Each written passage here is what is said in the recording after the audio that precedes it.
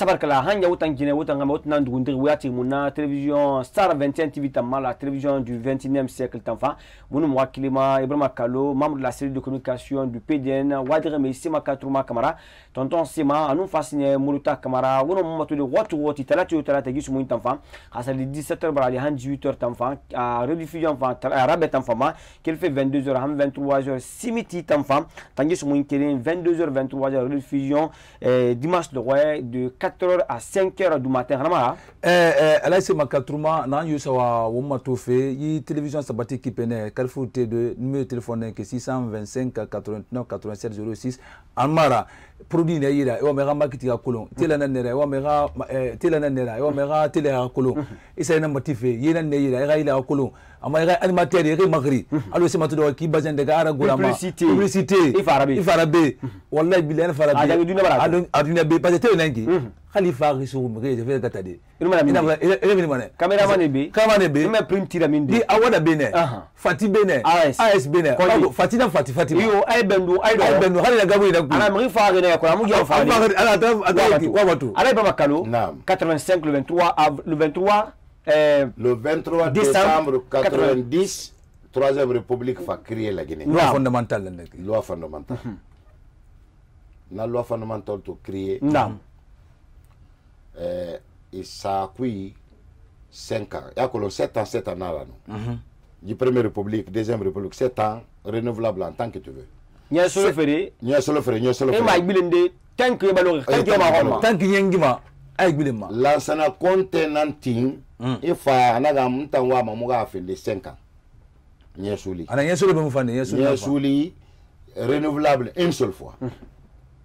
konte fa a fala e fa nara ba na constitution ku e dans son article 24 na sɛbɛ gina mais a mo balange de alo intangibilité constitutionnelle ne e na mula aga touché constitution ku e. na mu na na ya made mais c'est vrai que intima intangibilité constitutionnelle intangibilité constitutionnelle mais c'est là qui c'est ne na constitution ku ne mu touché ba pres pres menge belega mu la maga di nara c'est mana men li on a timira on ma wore parce que to na eh on a mevese ma Ah, alf président alpha condé ano akanyama e fafika omai constitution na mvula feyeki akayibana parce que gina kanki parce que gina kanki mbala me aitan abalange mhm. asarigema mhm. mais tande migi mege man dogore ki constitution na alpha condé maguru akal constitution na ma wombala mene no amala mbole e fafika masa amufan amufan tante wiyana tante wiyana ku e mamba intangibilité constitution fala be kalo kori yo ikele ku mefe alhamdulillah k'a kɔlɔ ji constitution nana mun ye ki ji constitution 7 mai 2010 constitution mo fan dangi fara mamɛ constitution mun na dangi fara naam ire ne nana ino ma touché de le période transitoire alors a fala fe menge kunate nanu na président de transition naga rôle ino mana bada koy i fa rôle gwɛtɛra asali president mu na na sɔnɔ hali o president bara bɛlɛ eh, gbɛtɛ pa o tongo ma a tongo ma kinɛgɛ na n'o ma sadi a koyi mɛ a fɔra fɛ constitution nɛnɛ na mu na ni ju constitution koyi o pa mu na alifa kɔnɛ bɛ a fɔra fɛ a n'o ma constitution nɛnɛ fa de ara a fa a sumi o referendum na pa o ma ye pa o kelen pe na na ye. pa minnu de kɛ. a n'o ma revision na ba de n nana fana bɛ yen yiri in de nana o o traité in de bara signé mu tanu fo ten. na telete mora famoma telete mun denge a fala fe bon mo bara ge ma so mo eh, mo na eh, eh, ji eh, lankunda e kui mo na mamini da kui ora men comprendre nam allo nation journée la guinée est le 82e pays des nations unies la guinée 82e pays le 12 décembre 59 la guinée so nations unies ora men comprendre ora comprendre donc asali mu wa ma minife meni mu wa ma minife kinɛgɛ nano ma yalande ou euh, euh, eh, eh, cpi cour pénal international oui traité de rome asali lagine wa ma minife na kui na société kui na pawa na président ya no ma finde ano ma fade segwetera ala ma se mubɛ mu fantiyama mais an fala fe constitution nene ano ma na ma sende bɛ na pawa ma yi constitution kui muso fɛn na na ka yi kɔnsɔn fan dange fɛn na kɔnsɔn dɔngɔ yɛrɛ. naam suti minnu ma fan ka bɔ de bɛ di. alihamdulilayi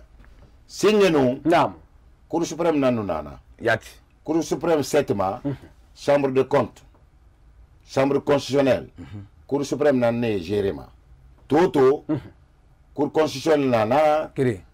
chambre euh, euh, euh, cour de compte nana. firi. cour suprême nana à part. ça va. donc n'a ye na institution sagambiri nga arrêt. e na tongo migi yo mu no mana touché de keren hmm. wota media e ga institution nam singenu CNC nanu nana Conseil national de la communication de la communication a président Alpha Condé na migi no me mameni mais to hmm. wota na woga délégation era minima woga commissaire era minima wo ara so na institution koyi i fa élection na ba i fa président élu mais martin tamo élu kene a nommé kene non a élu kene amu nommé a élu kene a élu kene oga commissaire komisɛri media eh. media media ibirim ya media organization society o society na media ra samba mm-hmm. presse en presse écrite télévision radio o media ra samba ma e uh, election na ba voilà il nomme il élu n'a nanan mm -hmm. nomination singe conseil national de la communication alpha na nomme mm -hmm. bara men comprendre eh, institution nationale des droits humains undash nana nato namun nana et sera et eta bara sera banna mula garaba undash no masigade imagere raba Gambie. oui amal magerera ou militaire de la république amuna nanu amunu nana militaire de la république arole musera mmerse mmerse vwana nanantu anana menne mmerse maitandi oui na role na musera e ma ga role na nkolo bege ma ga role na nkolo médiateur a double ka role na musera nguna na fala febe ça c'est entre les administrés et l'administrateur monsieur ba administré administrateur et tan wala ma mangesa e belga e na directeur yirende i fa i bana tun mm. parce que i bara ra ɲagu i ma tun i fa i bana politique fema ou bien sese fema i tan lanne i ka i ka pa i ka e, sɛbɛn raba a y'a ra sanba militaire de la république ma nana i kun ma fala ma harul nanaki harul nanaki agarol munadi inta mi tambara gira afa afala no inta bida agarol munaki no mge na mayakulu mira te harul mge mayakulu ah bi ah, ma expliquer ma mugi bene nam nam ila ne yi constitution alfa garol singe na nanakinu langue nationale biling ara dangi de kilfe article premier ma article 162 la ine constitution yi nam fala susu kui manika kui berse kui lele kui toma kui baga kui ara dangi han lo ine kai afamu naam afa arsume o referendum ala no aga nanana ba amara ba militaire de la mu fama afala fe eh, ministère de l'éducation nu eh, migene na gerefe aga aga problème munaki donc men nemu na c'est syndicat nu mangesa ina bara eh, gere aga rôle munaki aga rôle munaki mais c'est moi constitution mon fangé eh. ba fe na na ba fe nara conseil supérieur de la magistrature bara dogo Ah, donc, là, là, la personne est condition fan. Non, non, vous avez obéi. Conseil supérieur de la magistrature, Moussa Namassé. Hmm. Président Alpha Condé, na président. Na. À vice-président, na ministre de la Justice. Là. Mais quand il s'agit de conseil disciplinaire, à Falafé, magistrat en débarrassé là-bas, hmm. ou abra, eh, cobra sur le abra quitté ça, abra ça, abra calme, calme là-bas, à hmm. juger ma mène. Né na jugement. Né na jugement, mais président de Cour suprême na jugement. Président Alpha Condé Mara.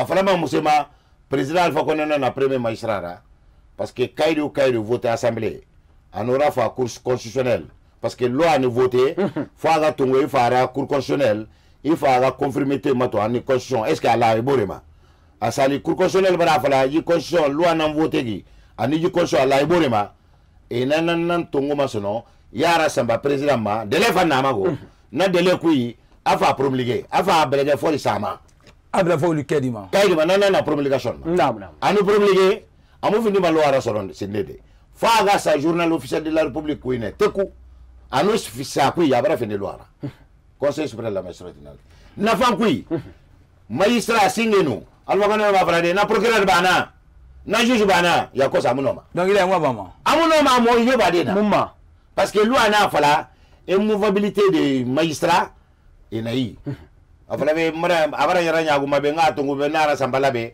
conseil supérieur de la magistrature na na décider ba hanja gi constitution nga fayinde ne nek mfa fe mfa fe amo yongi na ma fayinde haute cour de la justice an ah, singe namun na namun na na haute cour de la justice gi constitution nan tingana fe na gi constitution nan tingana aba go amo do ko kisende me mfa fe na hmm. ma afa président nous sera ba la na ba alo article 50 mo le président de l'année article 50 de la constitution de 7 mai 2010 président de l'année nié ou la guinée na gay, feba euh, hôpital la situation guinéenne en total mm-hmm. anandana à l'Assemblée, non kiyama les chiffres na à de mise en accusation ne qui mise en accusation président la la ah, pas qui la pas hein? amura parce que institution na institution la di migi seulement institution qui haute cour la justice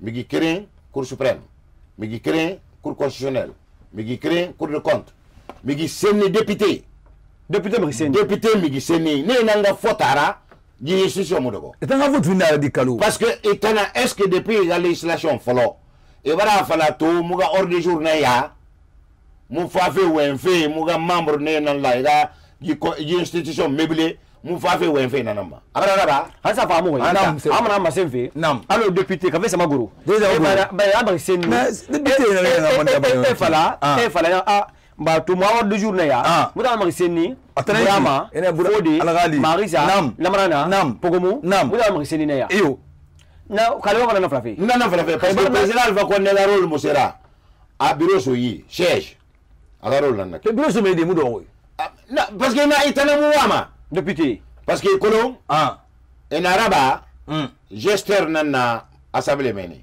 ana ko gesteur atana ko gesteur atana ko bra gatama asala bara ko bri ko bri mu yamene ah haute ah, euh, euh, ah. cour la justice na jugement ah gesteur ne menaki ah itana ko ma suma assemblée atana ko bri bi atana yi Attendant, comme je bah? à quoi assemblée Ah. Euh, questeur, eh, Le premier questeur. Le premier questeur. Nam. Deuxième questeur. y dans Premier questeur, c'est Député de. de non, Non, va ah, ah, ah,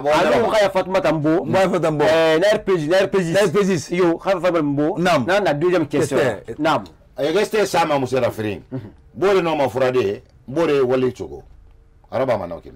Ou gouverneur de la Banque Centrale.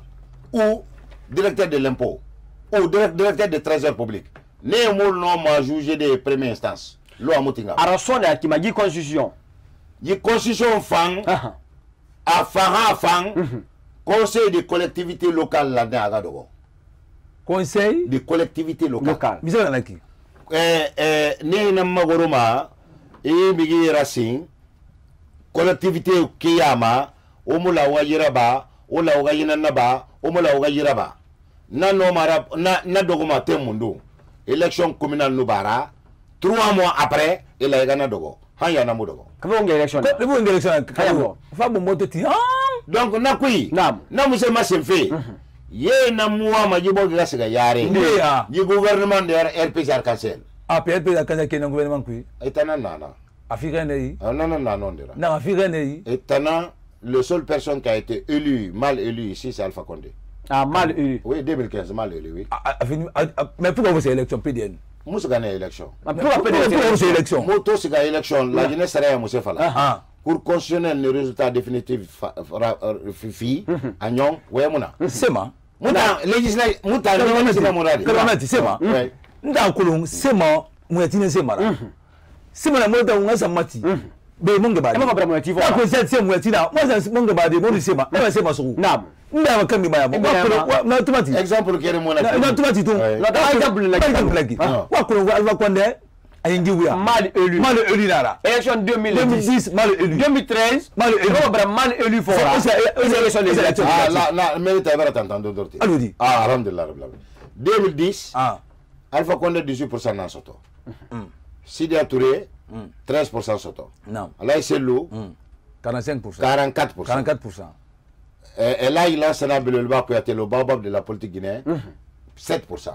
Non. Vous vraiment, nous comprenons. Mmh. Nous comprenons. Mouto, Alliance Rabat, mmh. Moufa Calcul Rabat, mmh. na pourcentage de Namatenga Guinaki, na mou 1 million 500 li. Or que le, nombre d'inscrits à l'époque, c'est 4,2 millions 200.